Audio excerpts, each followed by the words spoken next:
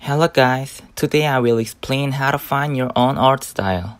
As always, this video is my subjective opinion, so it is not 100% correct. I just hope you like it. First, do not draw another artist's work, but draw a real picture. If you draw a work that already has its one style, then you just draw that style. If you continue to draw other artists' works in the same way, you will be the second person. When you draw the real picture, you can't draw it perfectly. That's why it transforms while drawing. In the process, you will know a little about your style. However, you can't find your own style by simply drawing the real picture. It is one of the process of finding your own style. Second, figure out which material is best for you.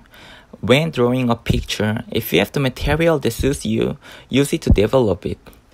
If you get used to the material, you will get closer to finding your own drawing because the atmosphere of each material is different. If it is difficult to use, when you have the material you want, draw more with that material.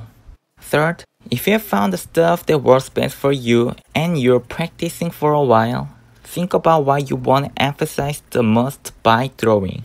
For example, if you want to emphasize your eyes when you draw a face, concentrate your eyes and draw the rest roughly. Or if you want to emphasize a really warm atmosphere, draw a line gently. The examples I mentioned are really part of it.